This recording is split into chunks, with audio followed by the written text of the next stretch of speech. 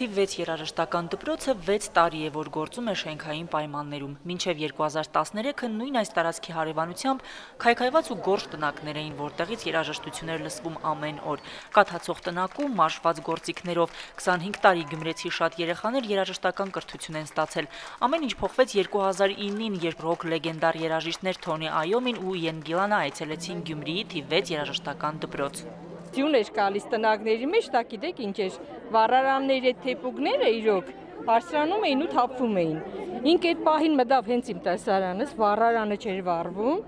աշակերտի ձերքերը վերցրեց ձերքի մեջ, շփելով, տակացրեց, տակացրեց, մի հատ նվագել տվեց ու գնաց։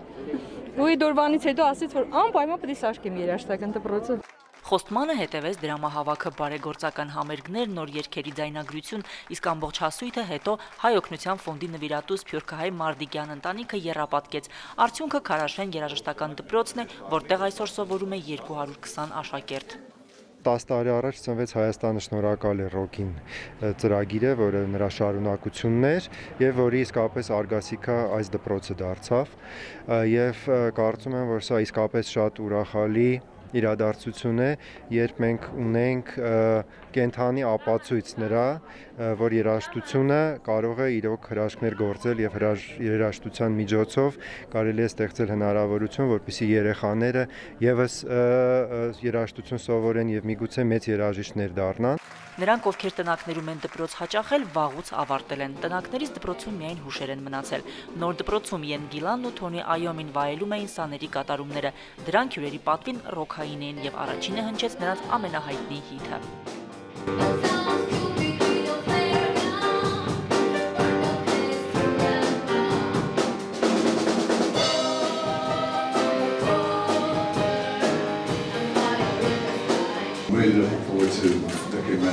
Սա դպրոցի կառուցումից հետո իմ առաջին այցն է Գյումրի եւ տեսնում եմ, որ այստեղ բոլորը ապրում են երաժշտությամբ, նվագում են եւ ամեն ինչ մարդկանց սրտից է բխում։ Դասական երաժշտարվեստ, հայկական ու համաշխարհային դասական հեղինակների կատարումներ։ Բոլոր երաժշտական դպրոցներում կրթությունը հիմնված է դրա վրա, բայց Գյումրիի թիվ 6 երաժշտական դպրոցի ուսուցիչներն ու աշակերտներն են խոստովանում, Են Գիլանն է 6 տարի առաջ իրենց դպրոց ռոք բերել։ Հարվածային գործիքներ չունեինք մենք, գիտարներ չունեինք, հետո փողային գործիքներ, սաքսոֆոն, որ մենք դա երազում կարող էինք տեսնել, բայց մենք ունեցանք բոլոր գործիքները։ Փառք Աստծո, իմի մեր բոլոր աշակերտներն են նվագում են։ Ռոքը ռոք են ավելի շատ։ Հա, հա, մեր երեխեքը նվագում են, հա, Յան Գիլանի շնորհիվ ռոքը մտավ մեր դպրոց։ Նվագել չեմ փորձել, բայց լսում եմ։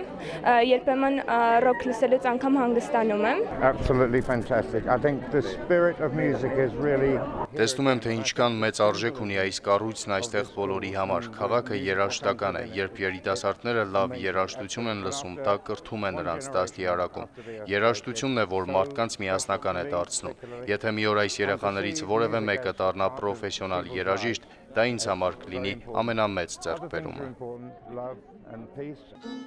Գյումրիի թիվ 6 երաժշտական դպրոցը կշարունակի մնալ ռոք երաժիշտների ուշադրության կենտրոնում։ Ռոքը օգնում է Հայաստանին նախաձեռնությունը շուտով 5-րդ դարի հոգևոր երաժշտության, Մաշտոցի շարականների մշակումների ձայնասկավառակն է ներկայացնելու, որի վաճառքից ստացված ողջ հասույթը կրկին կուղվի այս երաժշտական դպրոցին։ Այս պայի դրությամբ այս դպրոցին մենք նախընտրում ենք ոնց որ ունենալ մեկ թիրախ եւ ոչ թե